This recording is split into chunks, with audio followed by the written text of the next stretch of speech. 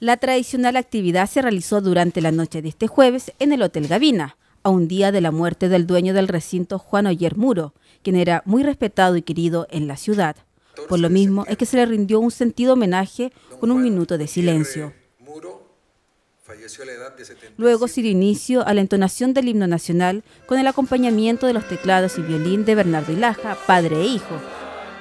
Posteriormente, el alcalde Jorge Soria, quien resaltó la unión entre los militares y la civilidad, quienes juntos forjaron la patria. De venir de la historia, a veces la patria ha tendido a tener sus divisiones, pero hoy, al cumplir este cumpleaños, y al recordar esto fue entre civiles y militares la que hicieron la patria.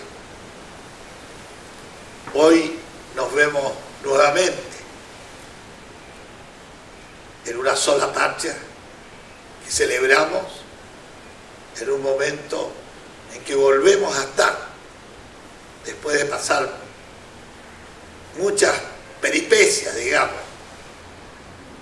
muchos a veces hasta rencores entre los chilenos, a estar en la linda patria como hace 206 años atrás. Así que creo que debemos celebrarlo con mucha alegría, que esté todo el pueblo de Chile, en este caso el pueblo de Iquique, juntos en este gran cumpleaños de la querida patria, mi Chile, nuestro Chile. ¡Viva él!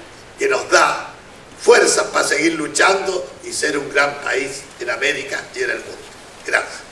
Después vinieron las palabras del comandante del Comando Conjunto General de División John Griffiths, quien recordó algunos pasajes de la historia de la patria, en que destacó la creación de la primera ley de apertura comercial y puertos libres.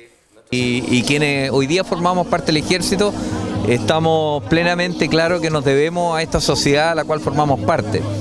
Y, esa es nuestra principal motivación, eh, servir a Chile y servir a cada uno de los chilenos sin ninguna distinción. Y en ese contexto el día de hoy agradecemos eh, y, reconocemos el cariño y el afecto de la comunidad de Iquique en este homenaje que se nos brinda. Y, y en una anécdota comentábamos que la primera Junta Nacional de Gobierno, el 18 de septiembre de 1810, una de las primeras medidas que toma, aparte de crear eh, las primeras unidades del ejército republicano, es esa primera ley de apertura comercial y puertos libres, digamos, que, yo sé que es un tema que a los iquiqueños les fascina, aun cuando en esa oportunidad evidentemente nuestro territorio no comprendía la zona norte. En el acto no podía faltar la cueca y esta la danzó la pareja de guasos compuesta por Abigail Cortés y José Muñoz, quienes llevaron hasta el escenario la danza nacional. Seguidamente, la soprano solista del coro de cámara del Teatro Municipal Ingrid González junto al director Gonzalo Calle en el teclado, interpretó el himno del Ejército de Chile, Los Viejos Estandartes. El homenaje concluyó con la entonación del himno de Aiquique para luego dirigirse hasta el sector de la piscina del hotel para brindar junto a un cóctel de honor por la patria, que incluyó dos tortas gigantes. Allí militares y los dirigentes vecinales se reunieron para compartir una amena conversación. Bueno, yo creo que este es un homenaje muy hermoso que todo es tradicional hacer homenaje a nuestras Fuerzas Armadas.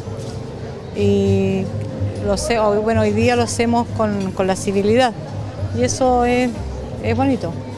Bueno, me parece excelente, ¿cierto? Como eh, no sé, una integración entre la comunidad y el ejército, yo encuentro que es una idea excelente. Como todas las ideas que ha tenido siempre el alcalde, siempre trata de unir a la ciudad y ser una sola. ¿Sabes qué asisto? Eh, no pensé que el alcalde don Jorge hiciera un homenaje tan lindo a las Fuerzas Armadas. Esperamos mañana que ya empiece el 18 de septiembre, que todo esté tranquilo, en paz y empezar así, a celebrar de esta manera, todos unidos.